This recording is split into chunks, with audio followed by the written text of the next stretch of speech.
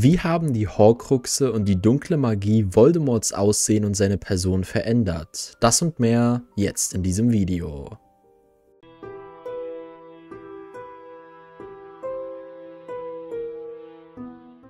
Im heutigen Video werden wir über Tom Riddle, Horcruxe, Lord Voldemort und einige Aspekte der dunklen Magie sprechen.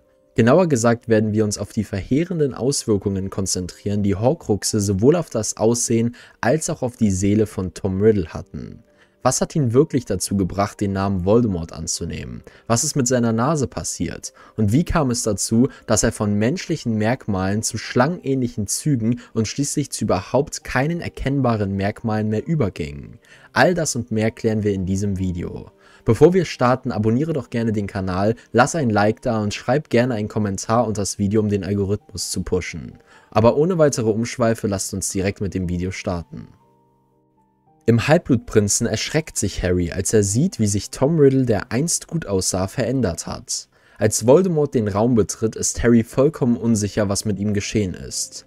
Harry stieß einen hastigen, unterdrückten Atemzug aus. Die Gesichtszüge, die Harry vor fast zwei Jahren aus dem großen steinernen Kessel aufsteigen sah, waren nicht mehr dieselben. Sie waren nicht so schlangenartig, die Augen noch nicht so scharlachrot, das Gesicht noch nicht maskenhaft, aber dennoch war er nicht mehr der gut aussehende junge Tom Riddle. Es schien, als wären seine Züge verbrannt und verwischt worden. Sie wirkten seltsam und verzerrt. Das Weiße seiner Augen hatte nun einen dauerhaft blutigen Ausdruck, obwohl die Pupillen noch nicht die Schlitze waren, von denen Harry wusste, dass es sie werden würden. Voldemort trug einen langen schwarzen Umhang und sein Gesicht war so blass wie Schnee. Lasst uns einmal kurz klären, was ein Horcrux ist, um ein besseres Verständnis dafür zu bekommen, was eigentlich mit Tom Riddle passiert ist. Ein Horcrux ist grundlegend ein Gegenstand, in den eine dunkle Hexe oder ein Zauberer einen Teil seiner Seele eingeschleust hat, mit dem Ziel, Unsterblichkeit zu erlangen. Also spaltet man seine Seele ab und versteckt einen Teil davon in einem Gegenstand außerhalb des Körpers. Selbst wenn der Körper angegriffen oder zerstört wird, kann man nicht sterben, da ein Teil der Seele nicht im Körper ist und unbeschädigt bleibt. Horcruxe gelten als eines der abscheulichsten Werke der dunklen Magie und sind das eigentliche Thema, wie sie Voldemort veränderten. Die Thematik eines Horcruxes war so tabu, dass nur sehr wenige Hexen und Zauberer selbst in der dunklen Sphäre von ihrer Existenz wussten. Diejenigen, die es wussten, waren klug genug, nicht weiter darüber zu sprechen, nun mit einer Ausnahme, von Horace Slughorn. Bücher, die der dunklen Magie gewidmet sind, wie gar böse Zauberei, weigerten sich vehement, auch nur ein Wort über Horcruxe zu verlieren, was als Beweis für ihre finstere Natur gelten sollte. Über den Horcrux, die bösartigste aller magischen Erfindungen, werden wir weder sprechen noch Anweisungen geben. In der Zaubererwelt gab es tatsächlich nur ein einziges Buch, das auch nur annähernd korrekte Informationen über Horcruxe enthielt, nämlich Geheimnisse der dunkelsten Kunst, das in Dumbledores Büro verborgen war. Das in verblichenes schwarzes Leder mit violetten Akzenten gebundene Buch enthielt präzise Anweisungen, wie man Horcruxe herstellt, wie man sie zerstört und wie die Erschaffung eines Horcruxes sich auf einen selbst auswirken kann. Das Buch beschränkte sich jedoch darauf, die Konsequenzen der Erschaffung eines Horcruxes zu beschreiben, und in dieser Hinsicht hat Voldemort die Dinge bei weitem intensiver vorangetrieben. In dieser Hinsicht waren Voldemorts Leistungen und die unterschiedlichen Resultate, positive und negative, die sich aus der Erschaffung mehrerer Horcruxe ergaben, völlig beispiellos. Niemand hätte vernünftigerweise vorhersagen können, welche Auswirkungen die Erschaffung von Horcruxen auf seinen Körper und Geist haben würde, da so etwas in diesem Ausmaß noch nie zuvor geschehen war. Dies führt uns zu dem jungen und beeindruckbaren Tom Riddle, dem Waisenkind, das tragischerweise niemals eine faire Chance erhalten hatte. Im Halbblutprinzen werden wir ins Jahr 1938 zurückversetzt, wo wir einen viel jüngeren, energischeren Dumbledore sehen. Dieser besucht ein Waisenhaus und trifft auf einen verstörenden Jungen, der allein in der Ecke eines Raumes sitzt.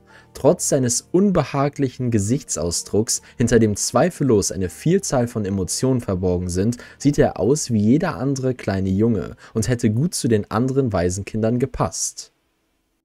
Zumindest wäre das der erste Eindruck gewesen, aber wenn man länger in seiner Nähe geblieben wäre, hätte man mit eigenen Augen gesehen, dass der junge Tom Riddle nicht wie die anderen Kinder war. Und dabei meine ich nicht nur die Tatsache, dass er magisch begabt war. Der kleine Tom fand tatsächlich Freude daran, die anderen Waisenkinder zu quälen. Er erwies sich als äußerst feindseliger Junge, der verschiedene Gefühle und inneren Aufruhr verarbeitete und vor der Welt verbarg. Selbst verstand Tom nicht, was mit ihm los war, aber er war sich immer bewusst, dass er anders war, und er wusste, dass er in der Welt einen Eindruck hinterlassen musste. Nach seiner Vorstellung bei Dumbledore wird er in die Hogwarts-Schule für Hexerei und Zauberei eingeladen wo er schnell zu einem begabten Zauberer mit einer Leidenschaft für Wissen wird, angetrieben vom Streben nach Macht. Nachdem er einige Zeit in Hogwarts verbracht hatte, freundete sich der junge Tom Riddle schließlich mit Professor Horace Slughorn an, der zu dieser Zeit sein Lehrer für Zaubertränke war. Slughorn hatte die Neigung, bestimmte Schüler zu bevorzugen und besaß ein gutes Gespür dafür, ob jemand das Potenzial hatte, zu Großem aufzusteigen. Er war normalerweise stolz auf die Leistungen seiner Schüler, zumindest in den meisten Fällen. Wenn man in Slughorns Gunst stand, teilte er einem gerne alles mit, und genau dies ist wahrscheinlich der Grund, warum er nach genau dem richtigen Maß an Manipulation und Schmeichelei von Riddle mit entscheidenden Informationen über Horcruxe versorgt wurde. Diese Informationen über die dunkle Magie spielten eine entscheidende Rolle beim Aufstieg zu Voldemorts Macht. Dies markierte den Anfang vom Ende für Riddle, denn von diesem Zeitpunkt an hatte er alle notwendigen Informationen, um seine Seele, seinen Geist und seinen Körper zu verfluchen, alles im Streben nach Macht. Mit diesen neuen Informationen begab sich Riddle auf den Weg, Horcruxe zu erschaffen. Von diesem Moment an begann er, sich sowohl physisch als auch mental zu entmenschlichen und entfernte sich immer weiter von dem Mann, der er einst war. Aufgrund seiner Horcruxe war Voldemort unfähig zu sterben. Er war durch diese Objekte an die Welt gebunden. Doch das bedeutete nicht, dass Voldemort wirklich lebendig war. Er führte ein verfluchtes Dasein. Ich glaube, dass Voldemort nun so tief ins Böse eingetaucht ist und diese wesentlichen Teile von ihm so lange abgetrennt sind, dass er nicht mehr so fühlt wie wir. Was genau bewirkt diese dunkle Magie in dir? Warum verändert sie dein Erscheinungsbild? Und was ist mit Voldemort geschehen? Nun im Wesentlichen resultierte die Veränderung in Voldemorts Aussehen aus den Handlungen, die er unternahm. Jedes Mal, wenn er jemanden tötete, jedes Mal, wenn er einen unverzeihlichen Fluch aussprach und jedes Mal, wenn er einen Horcrux erschuf, zerriss er seine Seele weiter, was dazu führte, dass er weniger menschlich und mehr zu einem Monster wurde.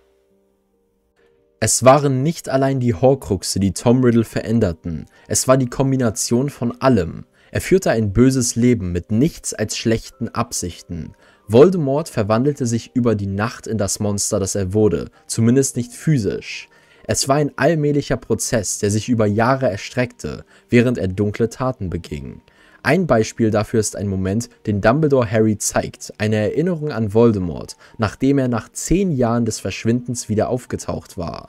Er kehrte nach Hogwarts zurück, um den Horcrux von Ravenclaw zu verstecken, und bat Dumbledore, der gerade zum Schulleiter ernannt worden war, um die Position des Lehrers für Verteidigung gegen die dunklen Künste.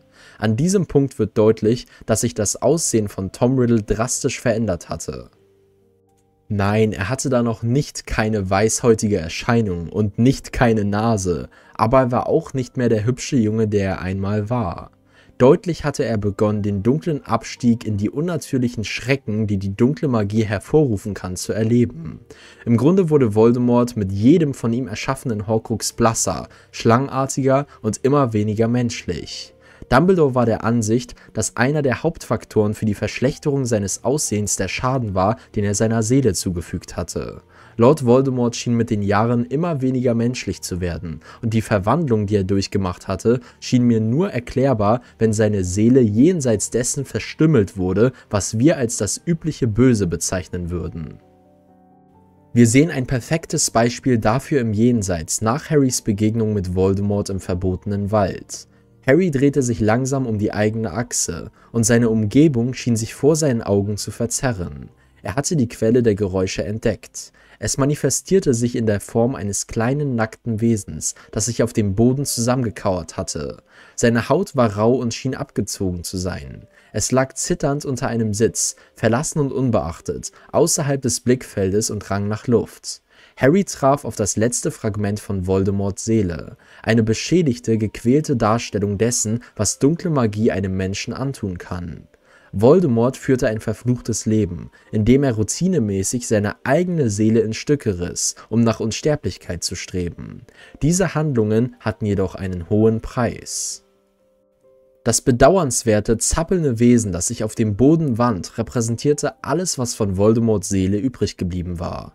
Zusammenfassend lässt sich feststellen, dass es keinen einen Zauberspruch oder eine einzige Handlung gibt, die durchgeführt werden kann, um sein Erscheinungsbild so zu verändern, wie es Voldemort getan hat.